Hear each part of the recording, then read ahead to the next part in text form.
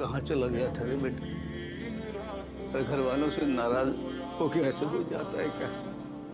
तुझे पता है तेरी माँ की हालत बहुत बुरी हो गई थी बेटा।